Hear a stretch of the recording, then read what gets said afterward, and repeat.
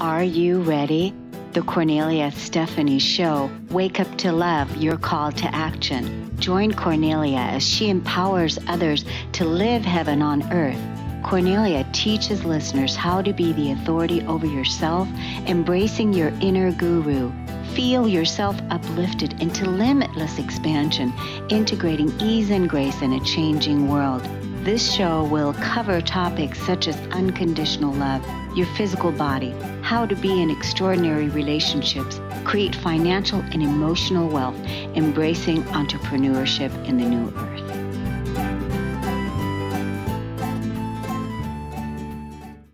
Hi, everyone. Welcome to the Kornelia Stephanie Show. I'm with Dennis Gaither. Hi, Dennis. Hello. Hi, everybody. Hi. So, Dennis, we are again talking about Hakomi today, and I just want to tell the listeners a little bit about if they're tuning in today for the first time. Hakomi is a way of being with another that is, in essence, mindfulness based assisted self study. It's experiential, focused on the present, and makes use of reactions evoked by little experiments with a person in a mindful state as a way of discovering how we organize our experience and to release limiting beliefs about ourselves. Underlining and supporting this process is the practice of loving presence created by focusing on those qualities of the other that inspire and nourishes us. And I love this learning about Hakomi and the loving presence and the words that are used and the exper- experiential practices that are used so that we can um, be be present with each other and also nourish each other. Cool, thank you. It's it's been a, a delight to share this with you, Kornelia. You have such enthusiasm uh, for it, and that always warms my heart and, and giving me an opportunity to share it and get the word out with other people as well.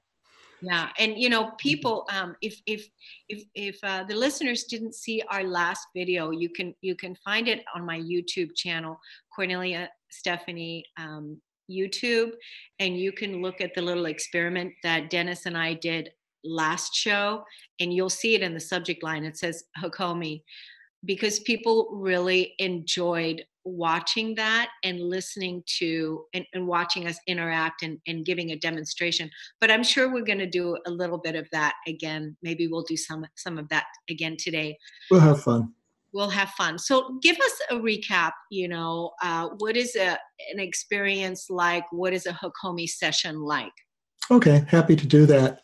So so well first of all loving presence is really the grounding. And what loving presence is is you know if i'm i'm being with you in, in completely present but specifically attuned into something that uh, about you the other person that inspires that nourishes me and that becomes the groundwork from which everything else follows. Uh, so so that's the that's the grounding. But the other things that are really important elements one is a really uh, really close moment to moment attunement there's connection, there's attunement uh, that is happening instantly uh, in the moment that creates a sense of safety. And it actually is a healing experience because most of us haven't had as much of that as we perhaps needed as we were growing up. And, and it actually has, over time, it can have actually positive effects uh, in just in terms of how our brains are wired. Uh, uh, we can develop a more secure kind of attachment. But there's some some other things that are really unique um, as well. Uh, and one is that what we're really attuning with, focusing with, uh, is the is the person telling the story. We call this the storyteller. Mm-hmm. In any conversation, uh, there's a person having something to say. Like right now in this instant, I'm tell, saying something and you're listening, and other times it's the other way. But but there's a there's a storyteller, me in this moment, and a listener uh, you in this moment. And and most of the time in most conversations where the conscious attention and awareness goes is on the story. It's the third entity, and there is the story itself. And it's not that that's a bad thing, but when all of our conscious awareness is on that, um, then we miss another part of the, the communication because there's a direct communication between the storyteller and the listener. And that's instant. The story itself is always going to be about the past. Even if it's from something that happened 30 seconds ago, it's still about the past. Or even if I'm talking about some anticipated future, that's still constructed from past experiences. But what's happening directly right now is instantaneous and it's communicated non-verbally. And most of the time that happens outside of conscious awareness. But practice that we have in Hakomi is actually to really pay attention to that and make it more conscious. And it begins with I as the as the person's listening, really tuning in and paying attention to the storyteller. But in doing that, we, we start to paying attention to ourselves as we're speaking there was something that Ron Kurtz. I, there, I have to. I, I, have to really honor Ron Kurtz, who was my teacher, uh, and and there was something he said. This is one of my thousand favorite things that he said. It's in that list somewhere. There were so many, but one of them he said is that what the adaptive unconscious needs, in other words, what we need for that part of us that organizes our experience to feel safe. What it needs to feel safe, two things. It needs to feel loved, hmm. loving presence, and it also needs to feel gotten. I'm not likely to unburden myself or show my tender side if I don't feel like the other person cares about me, but also I have to feel like they get me. That's so huge. Yeah. And, and so so besides the tracking and the loving presence, we have ways of communicating. Yeah. That we're that we're that we're tracking, that we're following. Yeah. Um, this this is something that that is my personal belief system too that all beings really want to get gotten. I i, I say absolutely we want to get gotten. all beings want to get gotten and i also um i i love the um the piece about love and mm-hmm. offering offering our our loving presence our consciousness to the present moment it, it whatever it is and that's where yeah, yeah really happen, right? Right. Yeah. Yeah. I'll just mention just real briefly a couple of ways we communicate that we're yeah. following. And one of those we call acknowledgments. And those are just little short statements, kind of woven into natural pauses in the conversation that just kind of communicate, I get it. Like, I can see how excited you are about this. I can see how interested you are. I can see how sad you are right now. I can see how hard this is for you to talk about. These are just little statements that are communicating. I'm kind of tracking where you are, you being hypothetical, others. Yeah. And um, and they're focused on the storyteller, not the story so much. They're not comments on the story, but it's about the storyteller. Those aren't too far out of normal conversation. Uh, but the other that we use are contact statements, and contact statements are just little one or two word statements that are just woven into the conversation. Um, and just kind of name some little sadness, huh? Some excitement there, some relief, huh? And those those are a little bit more subtle, but also very powerful because as as the, they tend the, the session tends to deepen as the person feels gotten. And in our level two trainings, we spend a lot of time practicing the art of contact statements because they're not really questions. Questions tend to pull us into our head to of the answer. And they're not definitive statements either because it's more like offerings. It's like an offering. No, that's not it. Okay, let it go. So those are those are some of the ingredients that kind of go into and into uh, the work that we do. Yeah, I, I love these um, this this form of communication. Uh, actually, you know, a lot of the the work that I do, you know, with with clients, I didn't know was called Hakomi, but having presence to, to, another human being yeah. are, you know, revealing their past or they're healing from something in their past, right? Is is really um, is is Hakomi. Well, yeah, it is. We could, or or Hakomi is that, whatever way you want to put it. But yeah, you're a natural, loving presence. I've I've known that about you for a while in our conversations, and even doing this right now. So uh, yeah. And you know what I love, what else I love about it, Dennis, is like a lot of times it's really practicing the art of listening, mm-hmm. practicing mm-hmm. the art of listening. And listening is communication, right? Is yes. listening is communication. So because a lot of times what people do because they're preoccupied with so many things um, they're not really listening to That's right. the person because they're thinking in their mind how they're going to respond or how they're going to reply to what is being said Right. right instead of really like completely bringing 100% presence into this communication being 100% present Yeah. not not thinking at all about how i'm going to reply or what i'm going to say about it but just being fully here That's so important. That's so important, Kornelia. Yep. Yeah totally agree. yeah i mean and this is how we're this is how we're nourishing each other and this is how we're you know offering healing. Even if you're doing this practice on your own like you know being being with yourself this is a wonderful practice is to listen to yourself through your journal and having compassion and having um, being being a witness to yourself to whatever is up for you in the present moment and Mhm. listening Yep, it does. One of the one of the joys of doing this work is actually you do learn to be a, a loving presence with yourself, and uh, you know, and sometimes sometimes that's difficult, and then it's useful to have another person being in loving presence with us. So so it, it they're both uh, both the willingness to receive that, but also to provide it myself. yeah you know i really believe that um, you know there's there's a lot of work we can do on our own really you know Mhm.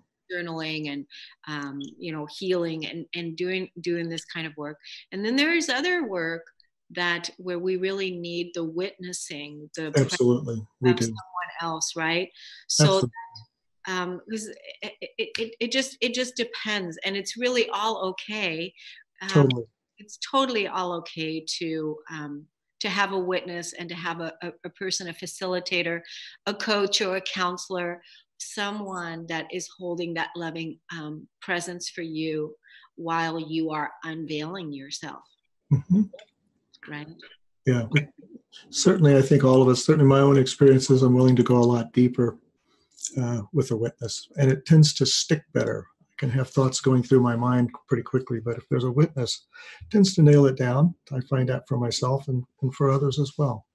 Yeah, yeah, um, yeah. Because the healing is not just taking place, you know, for the person that is sharing; it's taking also place for the the person that is witnessing.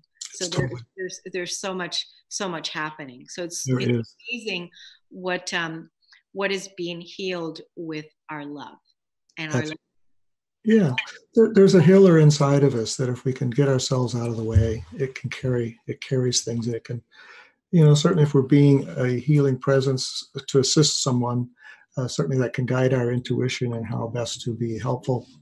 Um, but it also tends to guide whatever needs to come up and, um, and have its have its life in that moment.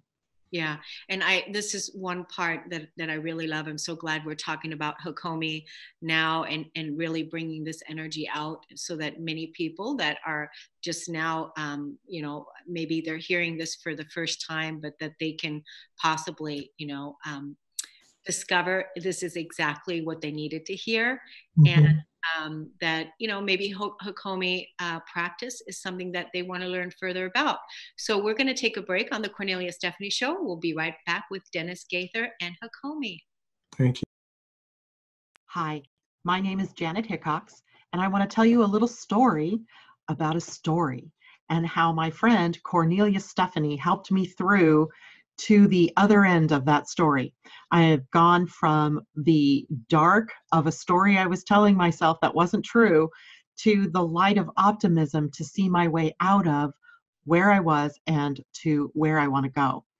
And it all started with uh, her scheduling a session for me to help me reclaim my money or my financial empowerment.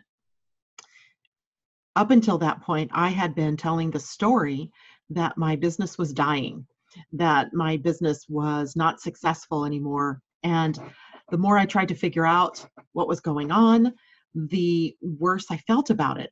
And when I had to get ready to do the session with Kornelia, she asked me to go look at the numbers and where I was uh, through the year to date, and then also to come prepared with a number that I wanted to uh, raise my income to.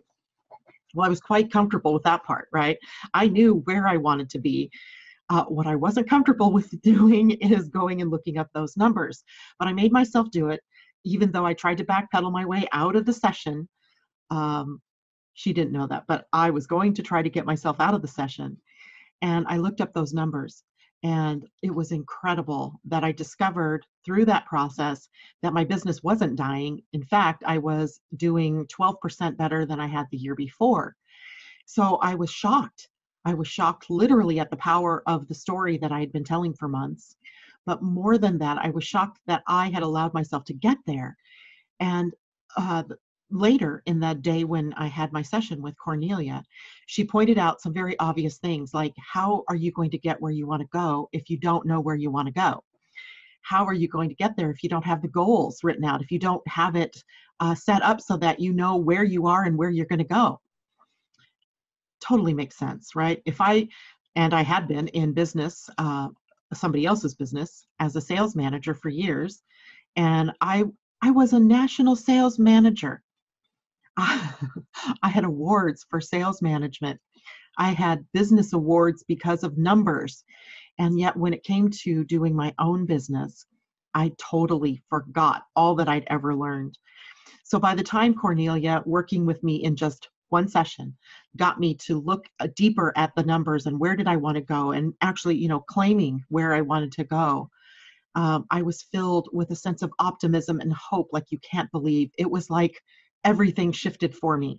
And I am so looking forward to our continued sessions to see how far I can really push myself to get where I where I've only dreamed of being, where I've never taken the dream and actually brought it into concrete existence. So thank you, Kornelia, for the work that you're doing out there. I appreciate it and I can't wait to see where I go from here.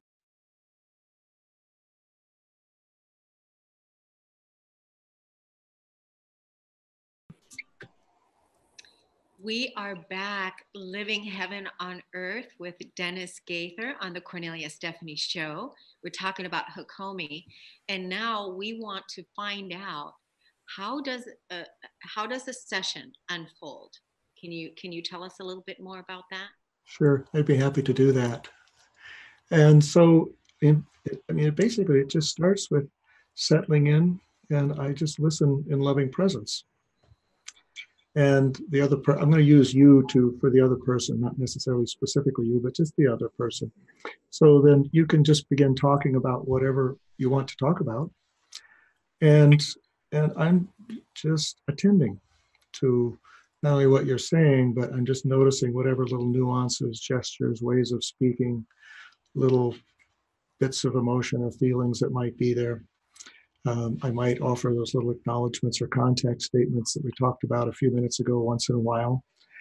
Um, and I'm starting to just like get maybe little intuitions about maybe experiments that we might do or what might be if there's a challenge that, that the person is dealing with that maybe there's not only the situation right now but maybe there's a backstory that's being brought into the situation that is uh, that's that's feeding into it and creating some of the unnecessary suffering associated with it, which is really what we're about here is relieving the un- unnecessary suffering.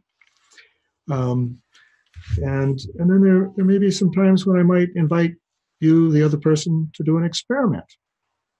So one of the things when I start to get some idea or little intuitions, or we call them hypotheses, um, a couple of things we don't do. Uh, we don't like to get into intellectual analysis. Don't like to get into uh, making interpretations because you know I don't know what it might be. It might be quite surprising. We do experiments, and these are experiments in mindfulness. And let's just pretend for a moment that I suggest that might we might want to do an experiment, and and how we might do that is I just invite you just become really mindful and just noticing thoughts, feelings, memories, images that might be coming up as they occur in the present. And uh, there may be other times when I might notice gestures, we call, or ways of speaking, we call those indicators. Um, and the experiment is always intended, something that's always intended to be nourishing or to uh, uh, invite a sense of curiosity. We don't do trial runs of something that we know is going to be oppressive or unpleasant. Uh, it's always something that's potentially nourishing. Mm. and then and then and then we're just, then we just notice what comes up in response. What comes up in response to doing the experiment. Yeah so so that's kind of a little bit of a background. So i think we talked about maybe doing something here. So let's let's just talk about out of the, the vast range of experiments. Um, we can talk about uh, maybe a specific kind of experiment that we would do.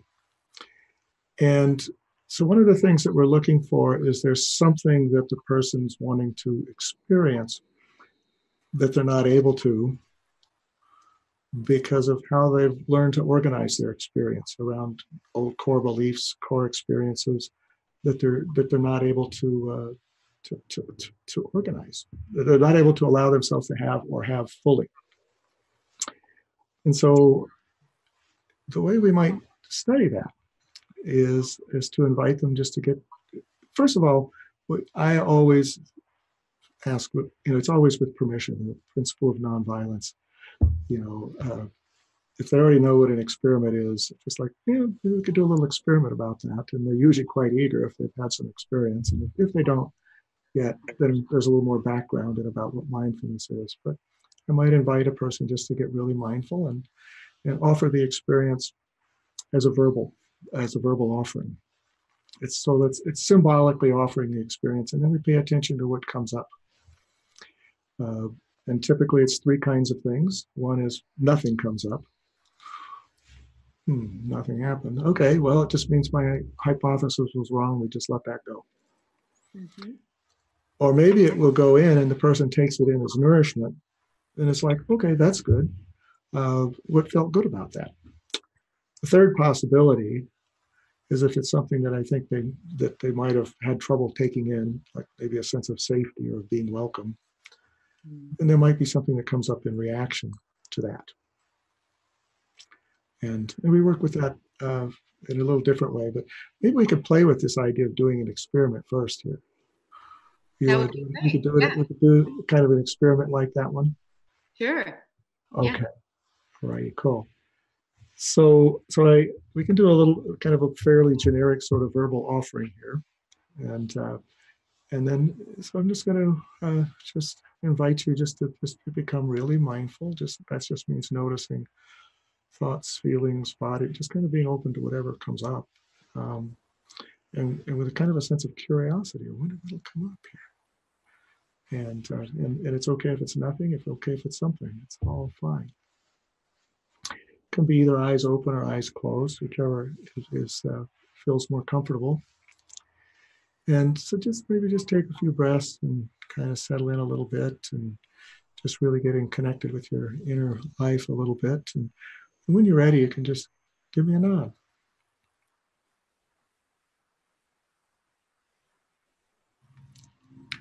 Okay, so just notice what happens when you hear me say, Kornelia, it's okay to feel fully seen. It's okay to feel fully seen. What comes up? What came up is, oh, great. Okay, so so so we could kind of we would say that that's that's that went in. That went in. That went in.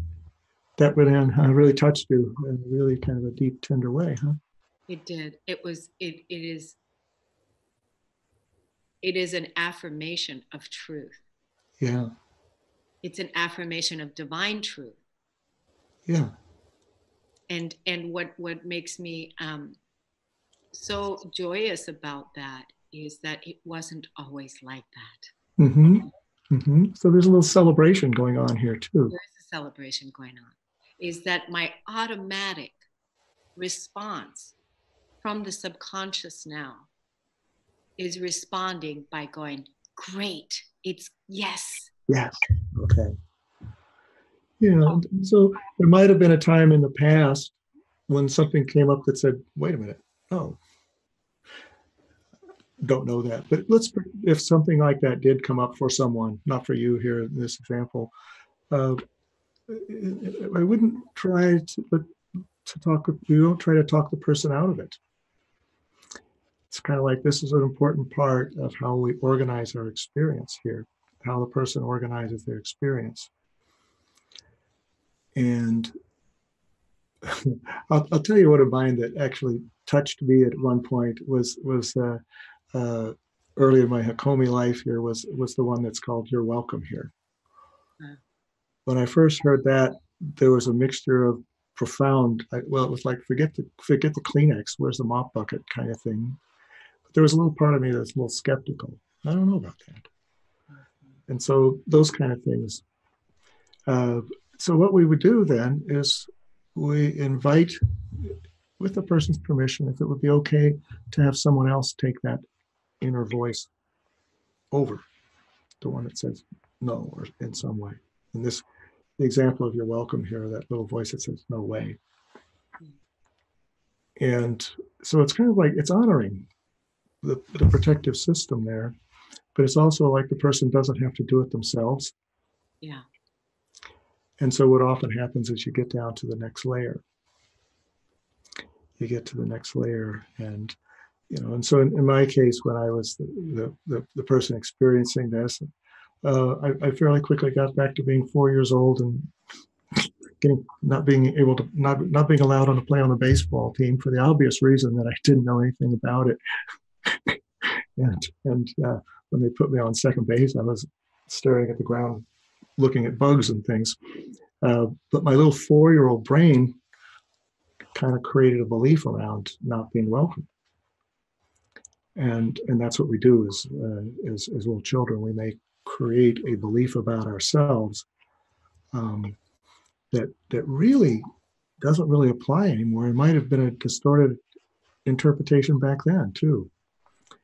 Um, and and and by simply just honoring the, the protective system that we have, uh, letting somebody take it over, we get to we might go through several layers, but we'll often get to some kind of core experience like that one. Um, and um, and then and then it's, it's sort of like there's a there's a corrective kind of experience we can have of just letting this little four year old in this case feel welcomed there's different ways of creating missing experience and um, but also looking at the belief does that really apply anymore? What did this little Dennis decide when he was four years old? Um, so um, so you know basically that's that's kind of like a, a little bit of how we do experiments. Yeah. and uh, there- there are other kinds of experiments too. Mhm. uh, uh, we do a, a, a full year training. We go there's there's a lot of different kind of experiments we can do but that's that's a really basic one but they're they're always done in a very respectful kind of way um, and uh, and and it's done with genuine curiosity it's not with an agenda to prove a point it's to uh, help a person in their exploration of how they organize their experience and how, Beautiful. how that's what we do so It's really beautiful. It's really beautiful. If you would have asked me last week at this time, Friday, I um I was getting ready to go do a Facebook live and I the topic that morning was how to love yourself through anything. And I didn't want to do it. I didn't want to come on because at that time I felt really in, withdrawn and inward. mhm, I didn't want to be seen. yeah I didn't want to come out and so wherever wherever that was up for me last week i did not i did not want to come out i didn't want to be seen and i um i spoke about it openly that i don't want to be here i don't want to talk about and, this and you really let yourself be seen in that that and I part said, you know, I really don't want to be here. This is really uncomfortable for me. And I'm loving myself right now. I'm totally loving myself yeah through this. And I'm being vulnerable. So, right, is because we really have to, we have to be vulnerable and letting go of all of those places within ourselves that we weren't seen before, where we Mhm. weren't honored yeah and, and allowing that to happen now, right? Right. Or often we have a shyness about seeing, being seen because we weren't being seen in a very kind way. Or at least we didn't experience ourselves being seen. It might have been a more of a scrutinizing or judgmental or critical way. And so we have protectors that kind of say, I don't want to be seen that way, so I'm gonna I'm not gonna let myself be seen. Um, and so so that idea of not letting oneself be seen is kind of it's, it's protecting something very tender inside of us. Yeah, you know what what um what has been a big limiting belief for me over the years hmm I'm taking up too much space. Uh-huh. I'm taking up too much space. Hmm I, I, you know, because again, the belief that I should be, um, you know, I should hurry up and and say what it is that I need to say. This is how I was trained, right? So children should be. Um, uh, um, I shouldn't take up that much space. Right. That was that was the belief. So Yeah. having over, you know, overcome that, that um, it's okay to take up this space. It- Right. Right. Let's let's do it. Well, let's just maybe make that as a hypothetical here. So, because it's a really common one. I, I don't Is it? deserve the space I take up here, even if I may have another one that says I take up too much. But but so the experience that because I, I have a part like that too. The experience that I wouldn't let myself be having is just to feel like I there's plenty of space for me. So Oh. so if you were my Hakomi therapist, you could offer that in the same way we just did. Dennis, there's plenty of space for you. And see what comes up. And you know, it might go in and feel really good, maybe nothing, or maybe there'll be something that will come up. No, there's not, or some little voice, and we can take that over, and maybe we can kind of come down to some. Often, what will lead to is some early life experiences in which kind of a sense of uh, there's not enough space for me. Maybe I'm not important enough. Um, can can kind of come up. Uh, we haven't said much about what we do with that Right. that when it does come up, because it's not just about getting there, uh, but we're we're we're actually working. When we're working with a memory, we kind of said Hakomi is a present moment kind of practice, and yet here is a memory of something that happened long ago. Uh, and and what we're working with is not the past. We're working with a, a memory that we're have that someone is having now. It's memory as present moment experience, even though the subject matter may be about the past. It's not treated as some literal, not necessarily literally exactly like that, because human memory actually is is very malleable. But what we're actually really after um, are the patterns and the beliefs that got set in place there that are still acting. And uh, there's a couple of parts to that. There are many parts to it, actually. But the two main ones there's an emotional part. Um, and that really depends a lot on what's happening right now as the person's experiencing the memory. Maybe in the earlier time they had to deal with a situation alone, but now there's there's somebody with them. Um, and so there's kind of like a corrective emotional experience that's there. Yeah. And when- and when we take that kind of memory back in, it gets reconsolidated along with what happened just now, so that it kind of gets reworked emotionally a little bit. Yeah. So there, but there's also a, a, a cognitive part of what's the belief that got laid down back there that now I'm operating under, and and it's not likely that a three or a four or a five year old consciously sat down and decided I'm not welcome here, or I'm not lovable, or I'm not safe anywhere Right. It's not likely that they would have done that, but they would have just set a pattern of responding to the world that would be as if that belief was true. And so part of just kind of putting words to it, oh, that's what that four year old decided back then. Okay. Um, not that he consciously did, but but it's kind of as if that belief came into being then. And it's at that level we can start to change our mind. Uh, and it's in a combination of working with that that kind of child state of consciousness. You can tell the adult Dennis if we if we haven't worked on that early experience as many times as you want to, you're welcome here, but there's still a four-year-old that doesn't believe it. But if the four-year-old's consciousness is here, um, then we can actually uh, uh, uh, do some healing, do some change, uh, and that's where the, the transformation comes in it's both uh, what was the meaning the child gave to it, but there's also something about is there something in the experience that was lacking then that could be maybe provided even in a symbolic way now.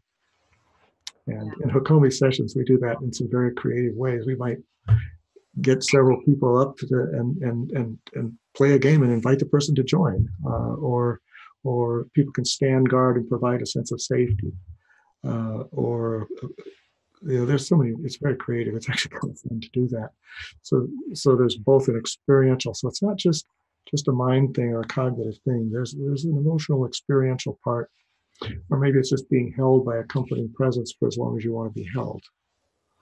Um, uh, or you know, there's, there's there's many variations on that. Uh, so both those parts are important, and and I and I think it's important to include both. And I I, I think not all modalities necessarily include both. Um, uh, some can be a little bit too cognitively oriented, and some maybe can be the emotional expressive part's important, but so is the going for meaning part.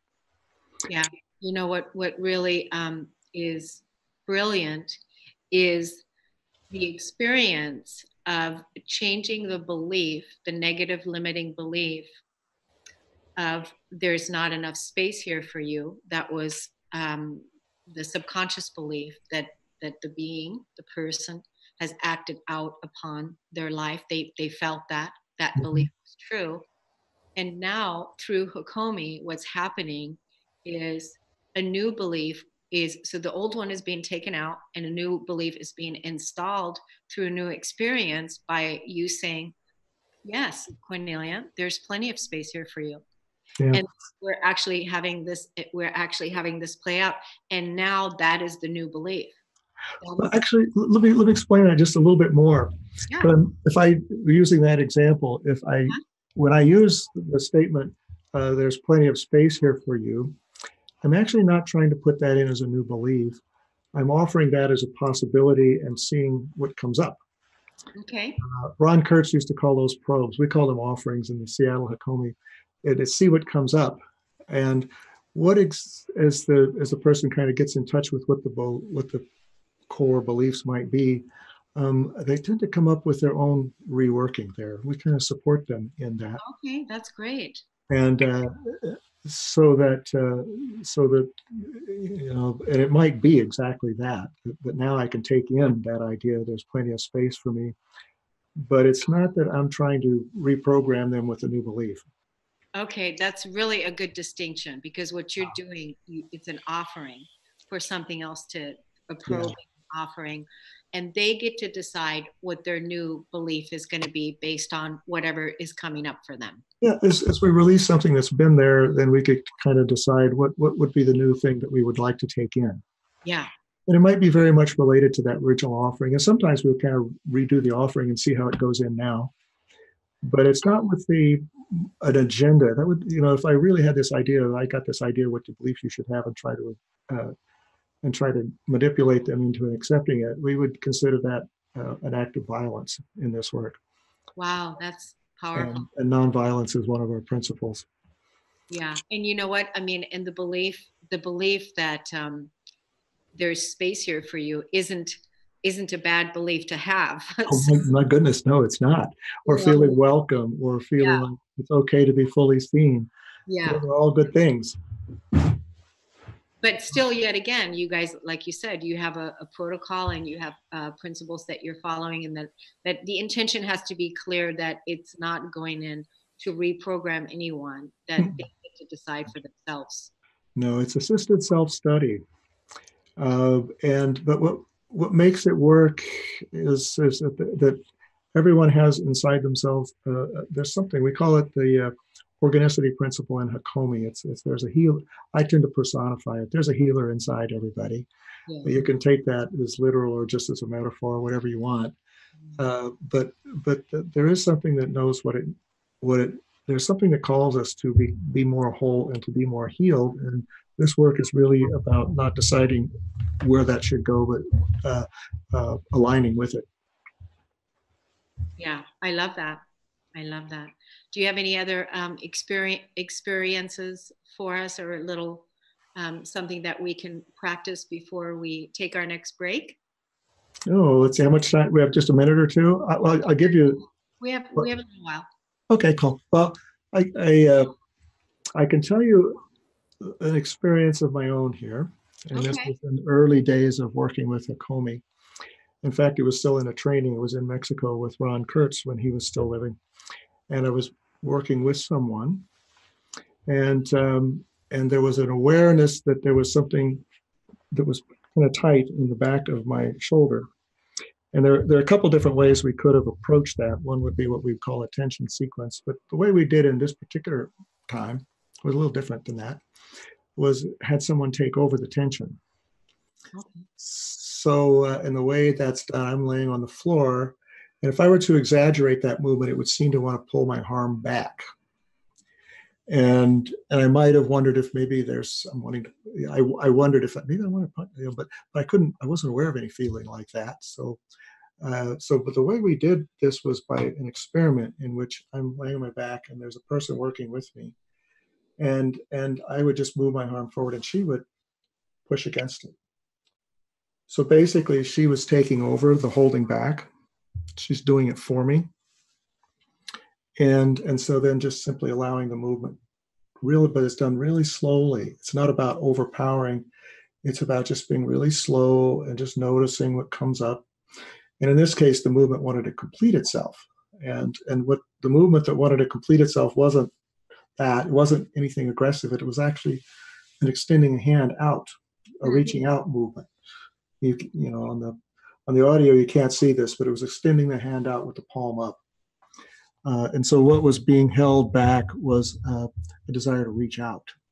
Wow, that's what was being held back. That was what was being held back, and then that there, you know, experiences from early life about uh, about why that would be something fearful to do, but. Uh, but I don't know any way of getting to that except by, or maybe you could have, but uh, really working through our somatic experience uh, to borrow a phrase from Freud, it's really like it's the early, it's the uh, royal road to the unconscious. He, he applied that to dreams, but uh, but we apply it often. It can be uh, to our somatic experience because it's a the body is an intrapersonal communication device. Mm-hmm. Our patterns and our core beliefs uh, are often expressed there. And by working through that expression in certain ways with mindfulness, uh, we can actually get to um, those kind of beliefs, uh, basic core beliefs. And, and I mean, I've had people go all the way back to birth experiences uh, with doing those kind of things. Um, uh, so, uh, so it can be, uh, it's, it's, actually really powerful and ever fascinating um, and delightful. I love it. I love, I love talking about it. I love the, uh, just the energy around it, you know, um, mm-hmm. the, the, loving kindness, the nonviolent communication, the um, the healing that takes place, the uh-huh. empowering, the empowering uh, experiences, and to you know, again, that that creative part where there's you know just between the two of us or between a group, and all the healing and everything that that can take place. I just so glad that you brought Hakomi to us here on the airwaves, Transformation Talk Radio, and getting um, getting this information out for people that that really are ready to receive this level of healing in their life. Right? Yes. Cool. Yes. Yeah, it's wonderful, Dennis. So let's take a break on the Kornelia Stephanie Show, and we'll be right back with Dennis Gaither. My name's Bob Skeel. I'm 91 years old, and I want to take a few minutes now to share with you the important role, actually the critical role, Kornelia has played in my life. I say critical because I'm not sure I'd be alive at all to the many possibilities that make up our human experience at my age, if not for her. I could have easily become another dead man walking, only half conscious, stumbling through my remaining years, if it hadn't been for Kornelia. Six years ago, I lost my wife to Alzheimer's We'd been married for 61 years. I never thought I'd be a widower, but there I was, suddenly lost and alone, but with the good sense to set a working goal for myself.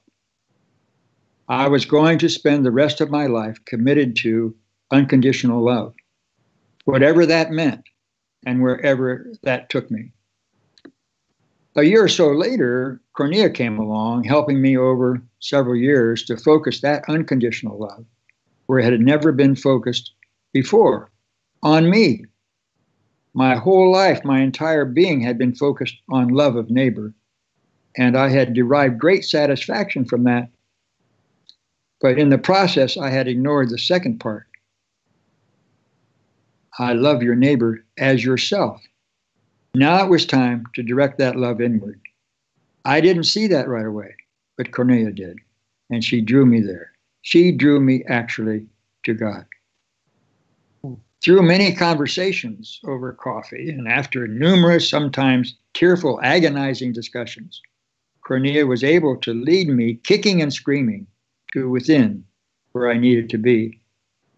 It was there finally that I was able to re identify myself. It was in bringing unconditional love to myself that I now saw myself in a new light, a fully conscious, worthy human being, capable of healing, loving, and creating in my own right all these gifts of the evolutionary process. I'm a new man now, younger as I get older. I don't move as fast as I once did, of course, but my smile is quicker and I engage the heart and mind of others more readily. I would likely not be at such a wonderful stage in my life if not for Kornelia. I owe my new life to her, a wonderful friend and a constant source of inspiration. Thank you, Kornelia. We are back and you're listening to the Kornelia Stephanie show.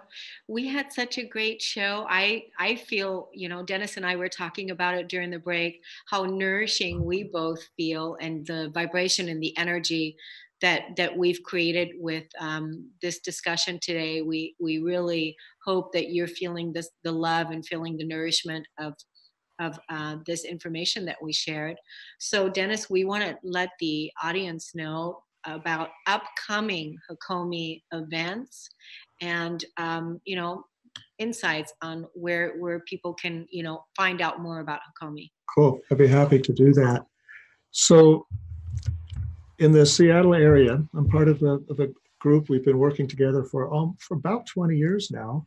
Wow. Beginning with when we first trained with Ron Kurtz, and then uh, after a three-year training, then we created the Seattle Hakomi Educational Network. Uh, www.seattlehakomi.com. So we and and we really uh, created a sense of purpose together of fostering loving and healing community. And that's really been an underlying theme as we uh, share Hakomi. Uh, at this point, we have workshops that go all the way from introductory workshops to professional level trainings. And I'll, I'll just tell you a little bit about some of these specific ones. So there's one coming up very soon on the Bastyr campus called Deepening Skills. That's on March 2nd and 3rd, and there may be a couple of spaces still available. Uh, that one tends to fill up pretty fast. You can inquire about that on our website. Deepening skills, we actually do Hakomi sessions. These are coached one-on-one uh, with one of the uh, uh, uh trainers. Um, there are four senior trainers and um, and then uh, four also trainers as well. There, everybody is very experienced. There's I think I once added it up, and between all of us, there's about 100 years of cumulative uh, experience doing this work. Wow, what wisdom. Yep. And so uh, I think the, well, the next uh, local event is called Nourishing Communication. It's in Seattle, uh, March 9th and 10th. And uh, and then we have several of our, our teachers and trainers doing that one. The next one that I'm actually involved with is called Loving Presence. And we'll be doing that one in Bellingham. My uh, dear friend and teaching partner, Lynn Morrison, and I uh, do these workshops. We've been doing them together for a long time. We have a lot of fun. And loving presence, well, we talked about that practice. We actually give it enough importance that we actually do a whole two day weekend workshop. For people that are psychotherapists, social workers, massage practitioners, these are all accredited for CEUs. Um, and I would be willing to bet this will be one of the most enjoyable CEUs you've ever gotten. There are no PowerPoints, it's just experiential. We laugh a lot, we play a lot, and we learn a lot. So uh, I'm, it's just really is delightful uh, to share that. Um, one of the things that gives me uh, a great deal of joy is just to witness someone's blossoming. Um, and I, I, feel like I get opportunities to do that really often, and uh, a large part of that is because of this work. So I'm very grateful to Ron Kurtz and to uh, Donna Martin also, who was uh, a close associate of Ron's and um, and was also really major in uh, Hakomi teacher and my friends at the Seattle Hakomi Educational Network. So love to have you check us out and maybe we'll cross paths in Hakomi land sometime.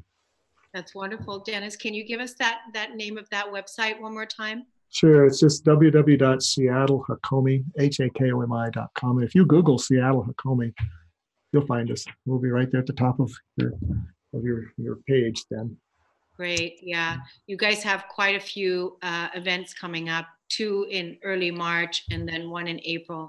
So it's a wonderful way to get, like you said, get started or, um, you know, get a taste of Hakomi. Mhm. Uh, and I just want to let everybody know that uh, if they if they like this kind of information, I share a lot of my uh, co-hosts information on my newsletter, on my weekly newsletter, and the way that you can get the newsletter. This is so cool, Dennis. Text the number two two eight. Text the word Kornelia to the number two two eight two eight. That's it text the word Kornelia to the number 22828 and you get you get my newsletter or you can do it uh, traditionally and you can go to my website at korneliastephanie.com and you can sign up for the newsletter there. And also while you're there you might want to take advantage of my keeper of the garden course. It's a 21 day audio e course that assists any person to move into a greater sense of peace, to release and let go of anything that's no longer serving you for 21 days. And it's less than 10 minutes a day. It really helps you in rewriting the story of your life and also letting go of what's no longer serving and grounding in a greater sense of harmony, a greater sense of peace, a greater sense of I am worthy, I am love, I am abundant. It's a, it's a beautiful course. And the people that have um, experienced it are now going through it again the second time. And it's $21. It's a dollar a day. It's, it's a beautiful practice every day because again, it's about how you respond to the events that are happening in your life and we know there's a lot of change out there and we need all the tools and all the spiritual practices and all the help that we can get so that we can make this world a better place i'm so grateful dennis that you said yes to you know bringing your theme on here with Hakomi and then also uh, we were talking about it during the break that next time we'll, we'll probably talk about forgiveness or we'll talk about the course in miracles. Who knows what you're going to come up with, but I know that it's going to be fantastic because you have so much wisdom to share. You have so many um, skills that you've uh, developed and strengthened over the course of your life, and we're we're just blessed to to have you on. So look forward to it. Thank, thank you, Kornelia. I feel blessed to be on and to have this opportunity, and uh, and I, you're a blessing as well to uh, to basically be supporting so many people sharing their light. Um, it's a there's a there's a very there's a generosity and a kindness uh, and a love in that that um, is really moving to me. I appreciate it. Oh, love you, Dennis. Thank you so much. Do you have any final words for our listeners today? Ah, I don't. admit Just, just. Uh, I love to see you. I love to hear from you, and uh, and maybe we'll cross paths. Uh, it's a delight to share this work. It's, it's really had a huge impact on my life, and and I know it's touched a lot of others as well. Absolutely, it's touched me. It's already it's it's really um, made me listen more and experience, you know, a greater level of nourishing. It's softening, and I love that. Yeah. So, uh, everybody, stay tuned for the Millionaire Imprint for Women. I'm with Michelle Boss. We're talking about right after this, we're talking about how to live in financial freedom. So, thank you, Dennis. Thank you, everybody. See you next time. Namaste. Namaste. You've been listening to the Kornelia Stephanie Show, Wake Up to Love, your call to action. Tune in each week on Transformation Talk Radio. Kornelia's joy is to engage others in practical ways, showing us how to live in the new earth in harmony with our true nature. For more information on Kornelia and her extraordinary work, or to listen to past shows, go to her website at korneliastephanie.com.